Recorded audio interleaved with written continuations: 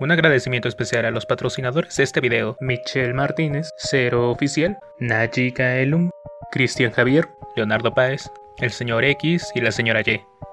Si tú quieres apoyar el canal de tu tío Batsy, además de tu comentario y tu like, recuerda que también puedes unirte a los miembros del canal desde 20 pesitos. Espero que disfruten el siguiente video. Eso es básicamente lo único que se necesita para comprender a un individuo como tú mismo.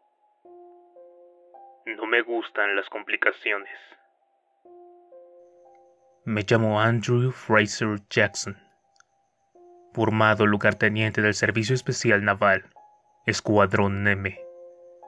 Éramos un equipo extremadamente duro que hacía parecer mariquitas en panties a los demás. Nací en Glasgow, Escocia. Tengo 58 años. Heterosexual. En general, prefiero la sal del azúcar. Nunca soporté la comida escocesa. En contra del cliché. Y antes de llegar a esto, solo eliminé capullos con uniforme. Durante el mes pasado, durante el mes pasado, le di fin alrededor de 200 civiles en la región. Considero que es todo por su culpa. Además,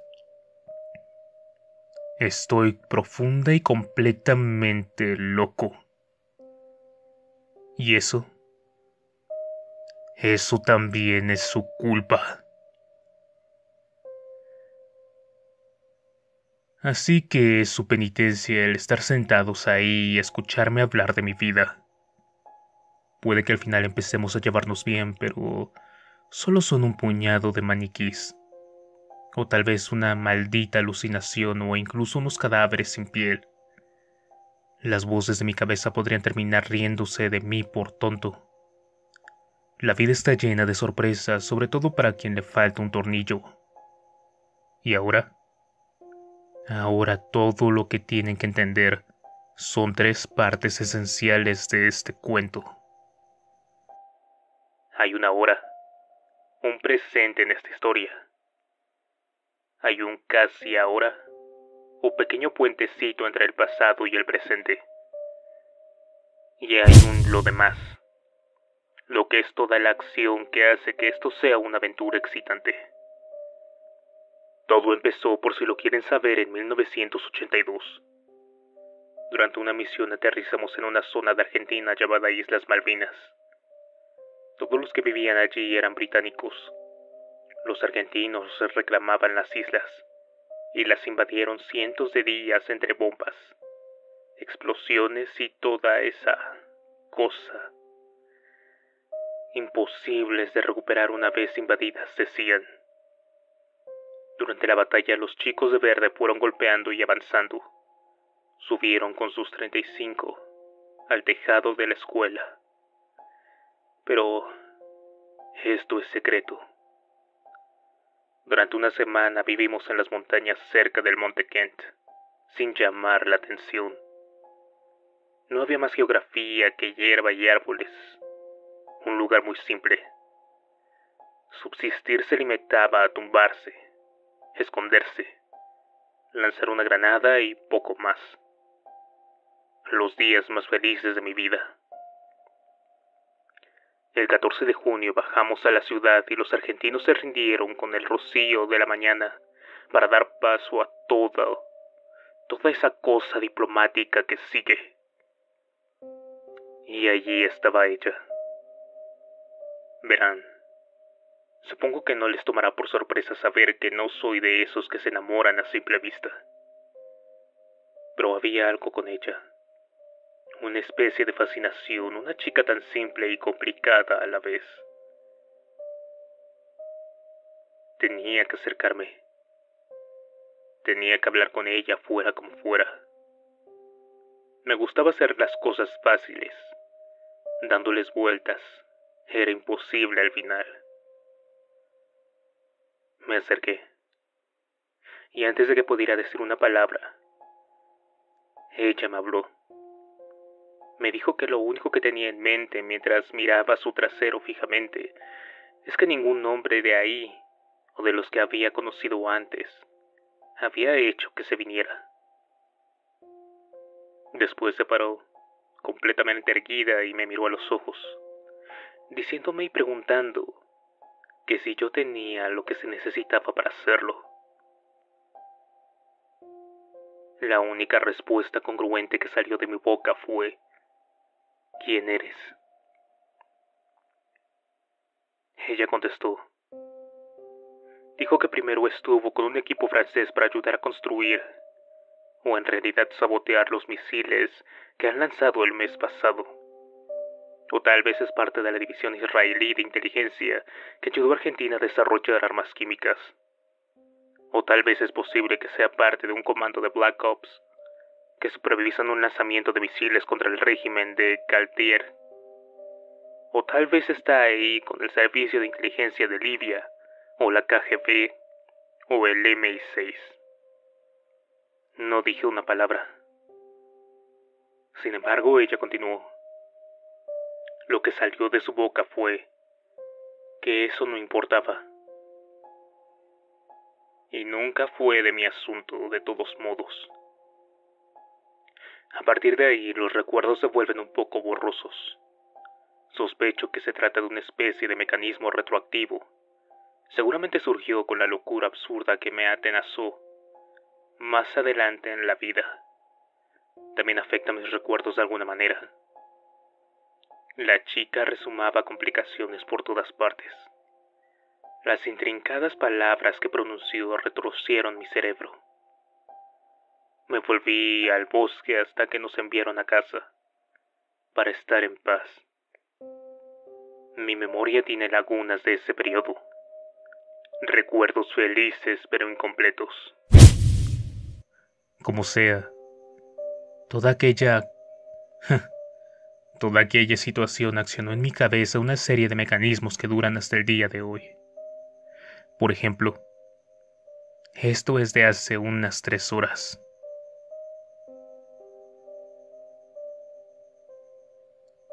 Islandia, cómo odio este maldito lugar. En fin, vamos por ellos.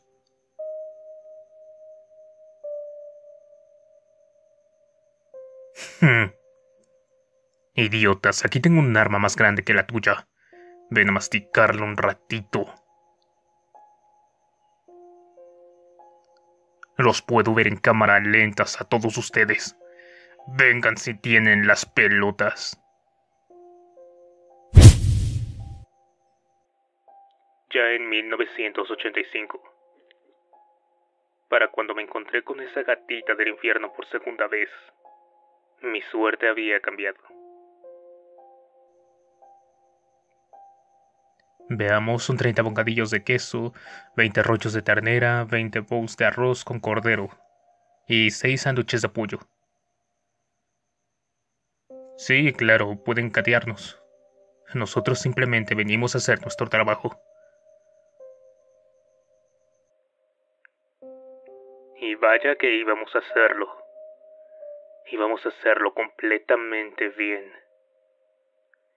Mi suerte cambió en el sentido de que fui ascendido a comandante. Y les entregamos un buen trozo de carne a esos hambrientos imbéciles. Una vez abajo, allí estaba ella. Me acerqué tratando de preguntar algo más que la última vez, pero ella de nuevo se adelantó y me pidió que describiera el efecto del gas. Una sensación repentina de incapacidad y terror. Ella me dijo que era una interesante respuesta. Sí, lo sé. Y tu trasero se sigue viendo genial. Me preguntó si las marcas en su cara eran efectos de explosiones. O una explosión de metralla desde unas bolas de carne. Me da la impresión de que tú sabías algo o no. Por fin, nos presentamos. Su nombre era Magda. Soy Jackson, y a decir verdad estoy algo caliente. ¿Es un efecto del gas? Bueno, parece que lo dudas. Qué suerte, supongo. Siempre es bueno tener un especialista en todo momento para estos casos, ¿no lo crees? Ella se rió. Sí, eso fue lo que pensé. ¿Y quién está moviendo los hilos esta vez? Me dijo que era información clasificada, que no debí preguntar. La yegua sonrió burlonamente y dijo que no podría entender nada de todo esto. Me dijo que el Estado estaba empezando a mezclarse con los asuntos complejos militares, y distinguir entre este y oeste ya no tenía sentido. Las banderas ya no son más que meros trapos. Ya no hay guerras, me dijo solo marketing. Murmuraba cosas conspiranoicas y me hizo una lista de países cuyos traseros fueron movilizados para combatir entre ellos solo para hacer dinero. Muy interesante. Pero dejé de escuchar para pensar que no quería que me soltara la mano. En ese momento mis recuerdos empiezan a emborrarse más. Sin complicaciones, decía. Tenía que mantenerlo simple. A pesar de que, en mis recuerdos al menos, ella me pidió que nos volviéramos a ver. Simple, no. Si hay algo que no hay en este nuevo mundo, son complicaciones. Pero sí, sí que está lleno de maldad y de actitudes más sucias que un balazo en las pelotas, por supuesto. Pero todo es muy simple. Hacer más agujeros. Con eso empiezas a entender qué tan simple es todo el mundo ahora.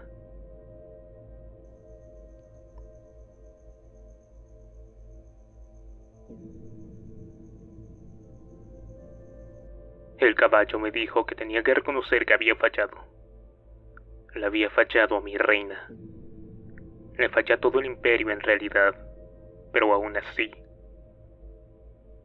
No estaba obligado a sufrir ni pasar esas penurias.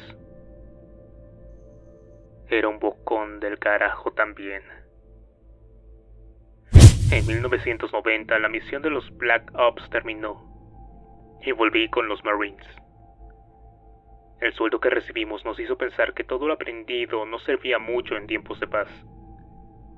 Nos mandaron a patrullar en medio de la nada. A Orknik.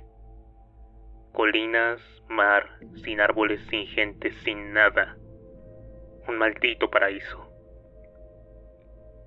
Básicamente evitamos que los escandinavos pescaran en nuestras aguas. Soñábamos con encontrar algunos camellos Aprendí a tocar la gaita para evitar el aburrimiento. Aunque lo que realmente partió mi mente en dos no había sucedido todavía. Ya se imaginan que era un poco excéntrico, ¿no? Debo mencionar que hubo un rabino llamado Argus que nos trajo bastantes complicaciones.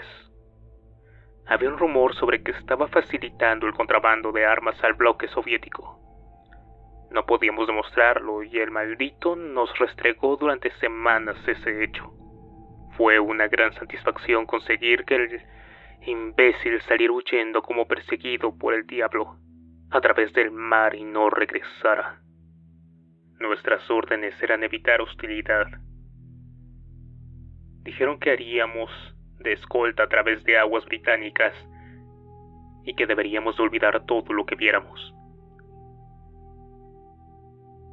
preguntamos exactamente lo mismo.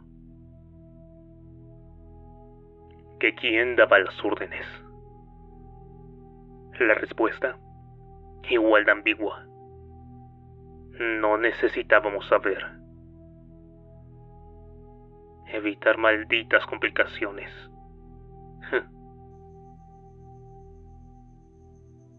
La explicación que encontré fue que estaba preparando algún ataque armado en algún lugar secreto. Muy secreto. Dijo sus superiores. Habían autorizado operaciones ilegales para llevarla hasta allí. Por supuesto, insistí en quedarme a bordo mientras duraba la escolta. Entre otras razones. Recuerdo que la chica hablaba por los codos, más de lo que me gustaría. Pero eso tampoco lo recuerdo. Bastante simple, ¿no? No es que fuera mala persona. Los recuerdos de ese día ya se van volviendo bizarros, como para ayudar a mi posterior locura. Te seré brutalmente honesto. No quería más que un maldito polvo rápido, como mucho una charla de almohada. La revolución de las armas químicas lo cambiaría todo, me dijo. Altera el comportamiento, construye planes. Esperaban que incluso acabara con los asedios islámicos. Una versión más joven de mí probablemente había hecho preguntas. ¿Quién te envía? ¿Cuánto dinero hay por medio? ¿Cuántas capas de corrupción tengo que ir atravesando hasta que me digas la verdad? Pero había aprendido la lección. Me quedé callado. Pero ella no paraba. Dijo que habían tardado una semana en convencer a Irán de que diera órdenes de levantar una pantalla de humo para proteger África. Que pudiera que hubiera alguna alianza secreta entre Mossad y la KGB, que nunca los encontraron con los mandos, pero que ella escuchó como dos idiomas distintos. Yo no quería saber absolutamente nada. Al final, tuve que esperar que la zorra se callara y poder esquivar el tema. El mundo ya era bastante complicado sin toda esa pantomima. Las mujeres te vuelven loco, ¿no es así? Una verdad, como un puño. Solamente íbamos a agujerear algunas gaviotas como yo la veía. Tranquilo, estamos llegando allí. Poco a poco. Esto es de hace una hora. Jodida Islandia, ridículo y asqueroso lugar. No ha cambiado nada. Claro, geográficamente hablando. Buen trasero, machote. Agáchate y verás lo que te voy a hacer. Idiota. No estoy seguro. Recuerdo todo de manera difusa duele. Es más divertido. Estoy tomando mi propia cara y parece chocolate. Cuando terminé y pude mirar al cielo, sentí como si la luna hubiera renacido. Y entonces vi el búnker. No es mi primera vez en Islandia. Y por eso, supe que te tenía en el lugar que quería. 1992. El telón de acero cayó como la ropa interior de una prostituta y yo volví con los SBS. Había muchos trapos sucios políticos que lavar.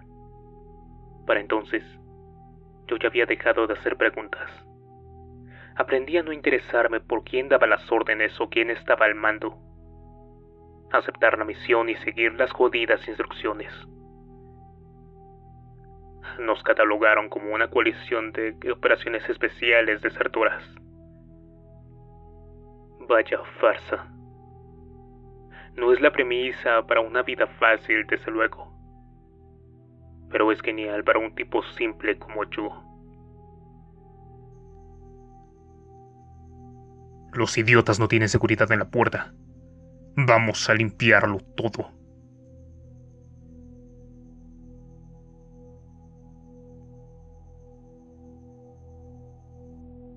Escuchaba una voz. Una voz en mi cabeza que decía que lo irónico es que tendría que ser yo.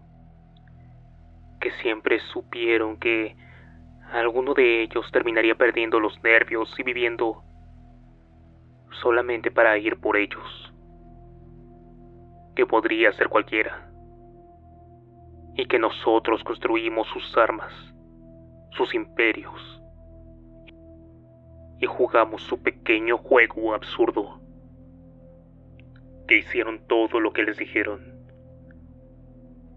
Ya saben que ella nunca supo de qué lado estaba hasta que ya era tarde. Nuestras órdenes eran simples. No sabíamos cuántos eran o quiénes estaban allá arriba. Y no importaba. Solo querían que cazáramos a todos. Cuando la vi, no podía creerlo. Ella estaba dando todas las órdenes por ese megáfono todas las instrucciones y tal vez todas las disculpas que no me importaba escuchar. La vi con dos niños, parecidos en edad y con un cierto aire de familiaridad. Seguí apuntando mi arma hasta que ella me dijo que si tenía la duda o la curiosidad por lo que se notaba en mi cara, esos niños eran míos. Después, me roció con ese maldito gas. Empecé a ver cosas, figuras, las mismas cosas y entes trastornados y criaturas malévolas que ahora mismo siguen viviendo en mi interior.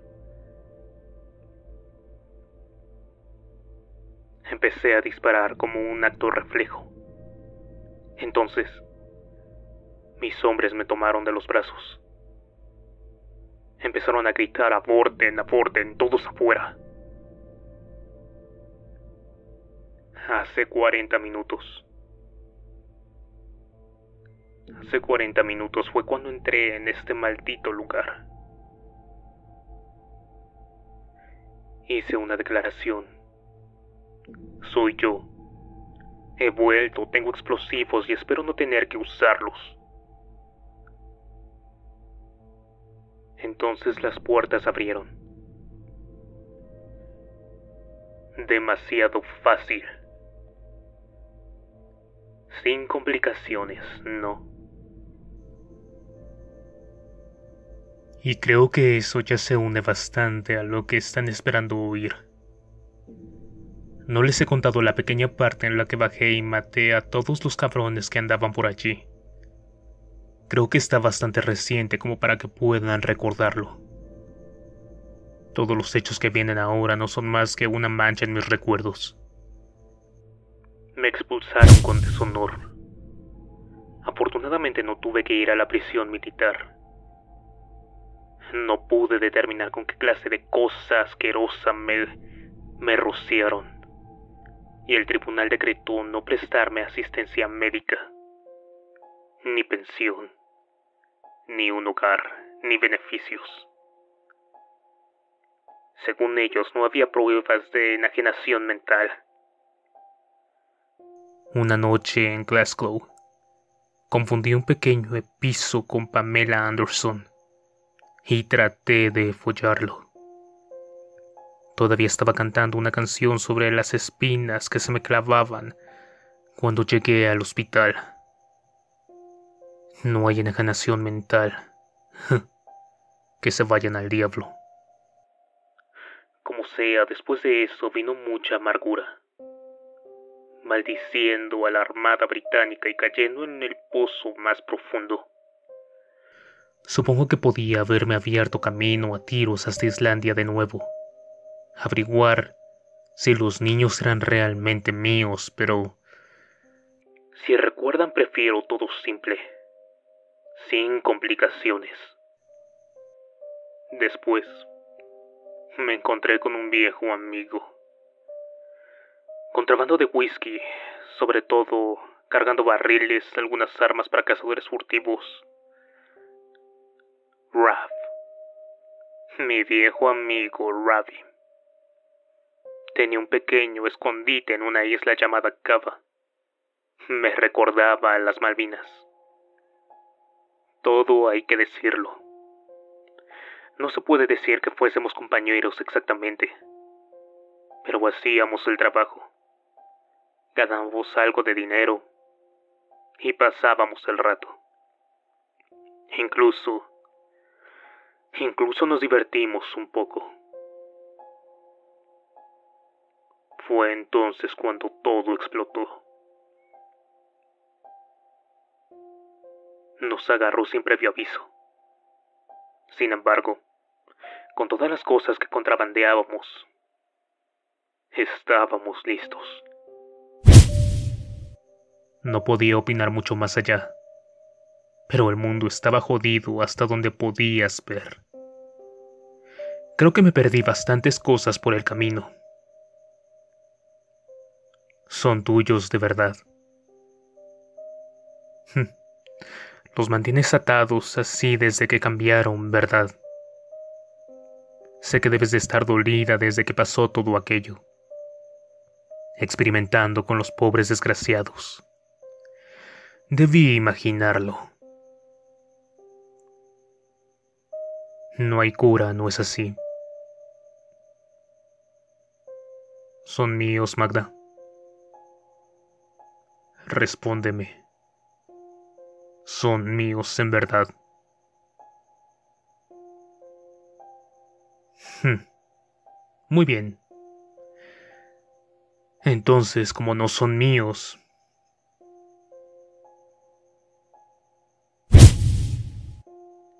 La última parte del rompecabezas. Nos dimos cuenta de que la tele y los demás sistemas de comunicación habían desfallecido. preparamos. Rap dijo que seguiría su camino. Acaba. Sabíamos que era bastante defendible y que necesitábamos algunas ovejas, pero que irían a echar un vistazo. Está sugiriendo que te quedarás ahí encerrado esperando la muerte mientras yo voy a enfrentarme a todo. Él me dijo que esperara y que no dieron una una decisión precipitada. Rob me dijo que siempre podía quedarme si quería, que era más que bienvenido. Pero tuve que declinar la oferta. Tenía cosas que hacer y gente con la que tenía que hablar. Además también había un unicornio hecho con piñas que debía de encontrar. Hasta cierto punto no sé si Rap en verdad comprendía que estaba loco o simplemente trataba de ser amigable.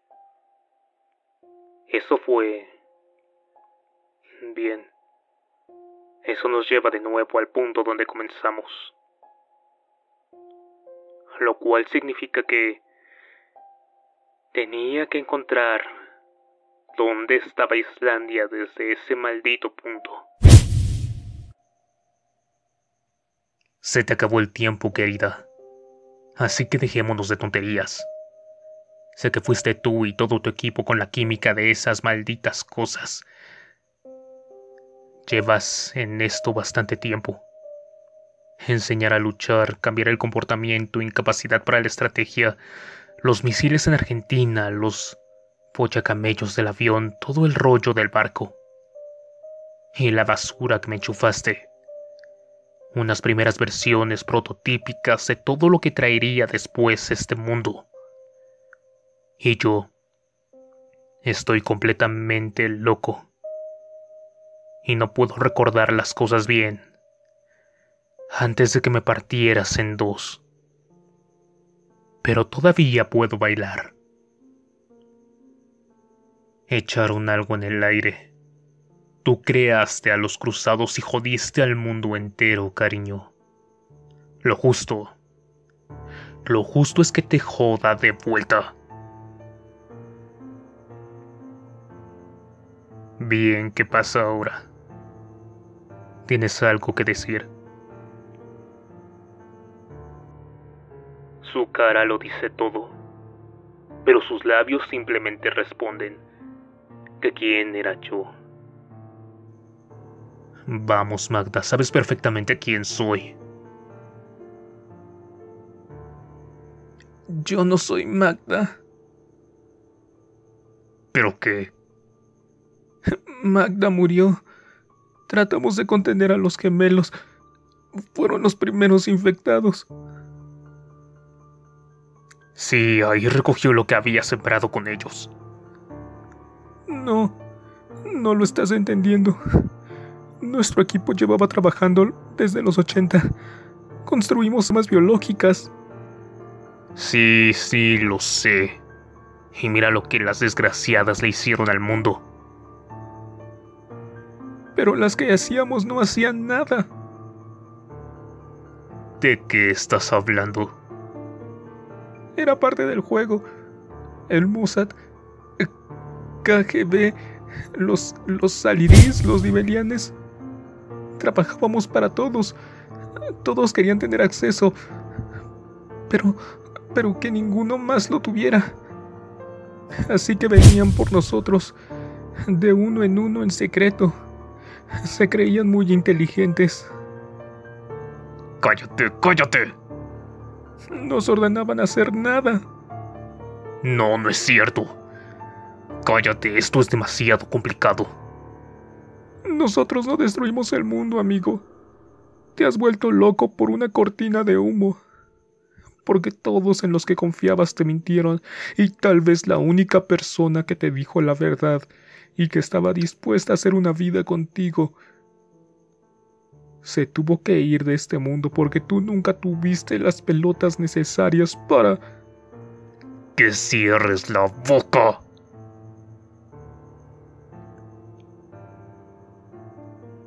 Tal vez me guste estar loco. ¿Han pensado eso, bastardos? ¿Eh? Solo es un estilo de vida más legítimo, como otro cualquiera.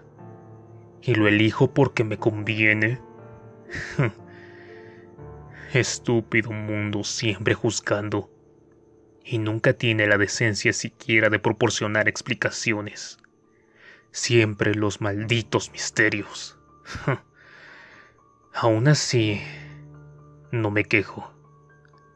Ahora es mucho mejor de lo que solía ser.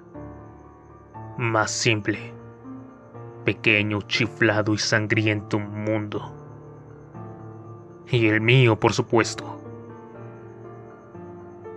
Es todo lo que tengo. Y seguramente con lo que moriré.